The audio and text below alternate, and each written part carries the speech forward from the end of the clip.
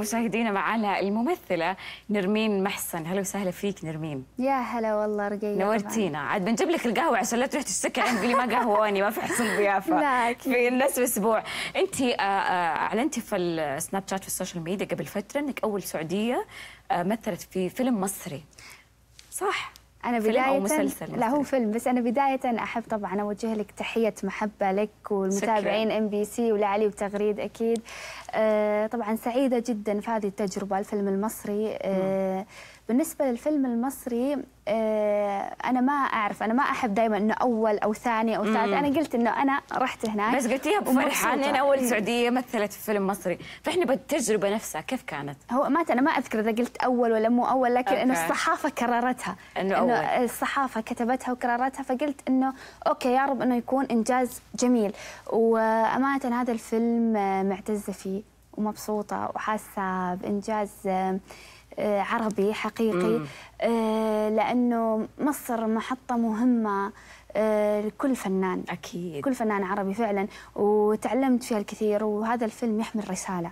أكثر شيء شجعني أنه أنا لما أنتقل أطلع يعني من برا آه، أجواء الفن السعودي إلى- الخليجي، إيه؟ أو الخليجي مم. إلى الفن المصري أنه أطلع بشيء فيه رسالة فعلا أنه شيء حقيقي مو أنظر شيء له وأقول معنى، كلمات إيه. لا لا فعلا اللي يشوف الفيلم توصل له رسالته وهذا كان أكثر شيء أنا عاجبني طب احكي لنا شوية عن الفيلم لسه ما ما ما تم عرضه عندنا في السعودية صحيح. أي احكي لنا شوي عنه. هو تم عرضه في مصر في أي. صالات السينما المصرية وتم الافتتاح. وطبعا الفنانين جميعهم حضروا الافتتاح.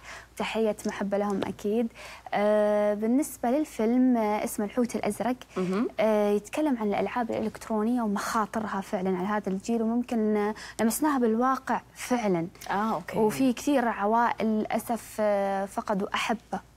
بسبب هذه اللعبة، أي. فأكيد آه، من واجبنا إحنا إن كان أنتم واجبكم كإعلاميين تحذروا. وتنووا وتسلطوا الضوء وإحنا واجبنا كفنانين نج- نجسد هذه الشخصيات على الواقع حتى توصل صحيح، توجهون الرسالة. إي حتى توصل يعني صوت وصورة. صح. التأثير هيكون أسرع. نرمين آه، رحت جربت الدراما المصرية؟ جربت ال- الدراما السعودية والخليجية؟ إيش الشيء اللي في مصر نفتقده في الدراما عندنا؟ أمانة خ... راح أكون معاك يعني أتكلم معك شفافية. ممكن اللي نفتقره هو وراء الكواليس. إيش اللي وراء الكواليس هناك؟ مثلا group التصوير. أي. تلقي مثلا مدير التصوير عنده مساعدين كثير. مدير الإضاءة عنده مساعدين كثير. آه مهندس الصوت عنده مساعدين هذا كثير. مش موجود عندنا؟ فبكثرة العدد وراء الكاميرا تلقيه عدد مهول من آه، يعني الجروب الفني. فهذا الشيء شفته إنه شيء جميل سرعه يعني هذا الشيء هذا ما عندنا. سرعة انجاز عندنا لكن الأعداد تكون تكون محدودة قليلة. يعني مش إنه ذيك الأعداد اللي تقولي عنها إنه كثيرة. الأعداد محدودة يعني. أنا مثلا إنه ممكن يكون مهندس صوت مع اثنين مساعدين. هناك يمكن أكثر أكثر صح يكون في يعني إنتاجية أسرع. إي. فهو لأنه برضو يعني إنه يلعب دور الموضوع إن الفن يعتبر الآن من التراث المصري. فعندهم أكيد يعني إن العجلة تدور ممكن بطريقة مختلفة. والآن أنا طبعا فخورة وسعيدة جدا الفن السعودي اللي وصله الفن السعودي في سنوات قليلة وصل صحيح. إيش آخر عمل سعودي شفتيه وتمنيت إنك أنت تكوني م- مشاركة في العمل؟ والله أمانة من أنا كنت فيه يعني العاصوف أنا كنت فيه. أي ال- بس ما شفتي شيء بعدها جاء فيلم أو مسلسل وتمنيتي إن أنت تكوني متواجدة فيه؟ والله لفتك أتذكر- كنت في الفيلم. أحاول إني أتذكر لكن إنه في أعمال جدا جميلة في أعمال شبابية أنا اللي قاعدة أشوفها الآن ما شاء الله الأعمال الشبابية أي. قاعدة تنجح ولها صدى عند الجمهور صحيح. والناس قاعدة تقبلها وغير كذا آه، حلو لما تشوفي برضو الشباب والبنات آه، اللي قاعدين يطلعوا يعني إنه من من عالم ال social media ممكن أكثرهم كان في ال social media من عالم ال social media إلى التلفزيون بطريقة مرة حلوة. أصلا شيء كثير حلو. أول كنا نجيب الناس من برا عشان يسووا لنا. المسلسلات والأفلام. الآن صاروا أولادنا وبناتنا هم اللي بيسووها. فخلينا في الشهرة. أنا أبغى أسألك لو انت مو مشهورة كان اخترتي شيء ثاني؟ ممكن كان آه، إيش أختار. كان إيش اخترتي شيء ثاني؟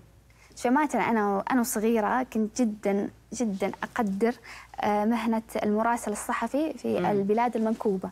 فإلى الآن أشوفها يعني أشوفها مهنة عظيمة. شوفي نفسك فيها. مهنة عظيمة جدا. صح. يعني لدرجة إنه أنا صغيرة آه، صابت رجلي. أنا أي. كنت أقلد مراسل صحفي في بلد منكوب كان في حرب وكذا.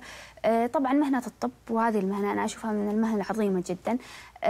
ممكن كنت أشوف نفسي فيها لأنه في داخلي يعني شغف تجاههم ونظرة احترام ومحبة لهذه المهن.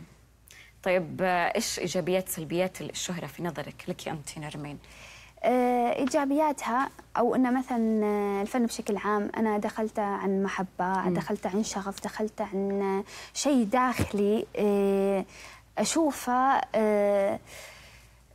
أشوفه على الواقع كنت. يعني طيب. شيء خلاص إنه مثلا يكون عندك حلم من صغرك أنت تتمني يتحقق وسائل. يتحقق هذا الشيء.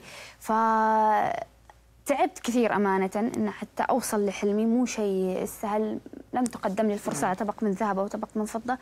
كنت ممكن من أنصاف الفرص أحاول إني أصنع فرصة. فكان هذا التحدي الصعب إنه كيف من نصف فرصة تصنع فرصة وهذا لنفسك. هو الشخص المبدع واللي يوصل. فعلا يعني هو مو بشيء سهل. لا فعلا. إيجابياتها ان أنت تحقق وتشوف حلمك على الواقع. صح. يعني تحسي بشعور جدا جميل. سلبيات الشهرة ممكن تجي أن انت دائما تكون محط إشاعات محط محطة آه، كلام أو أقاويل أو أكاذيب. طب الأقاويل والأكاذيب والإشاعات نرمين كيف تتعامل معها؟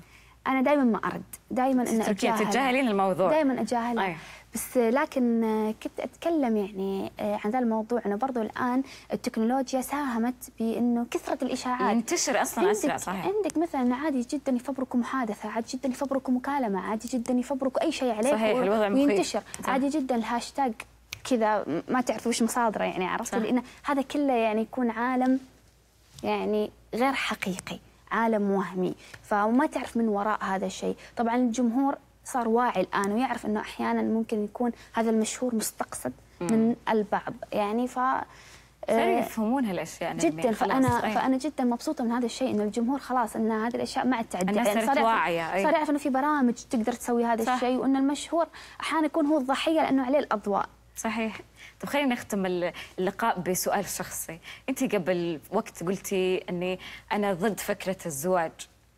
تغير شيء في هالفكرة ولا لسه باقي نفسها أمانة أول دائما كنت أقول أقول كل ما أحد سألني انت بتتزوجين ولا لا حتى أنه مثلا انت مر قد مريتي بعلاقة حب طيب. إنه لا لا لا إنه عندي شوية خوف من هذا الموضوع. طيب إيش صار الحين؟ آه فيما بعد قلت طيب هذا الموضوع مثلا أنا ليه أحكم عليه بدون ما أنا مثلا أخذ تجربة. مم.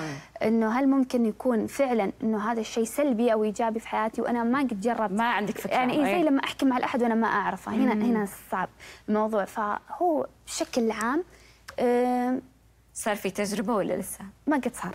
لسه ما صارت. آه ما لقيت ما لقيت الشخص المناسب. بس لا.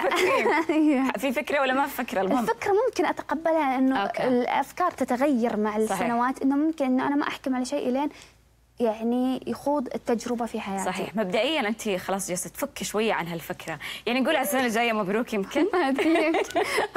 إن شاء الله نتمنى لك التوفيق نرمين. يا حبيبي شكرا لوجودك معنا. شكرا لك. يعطيك العافية.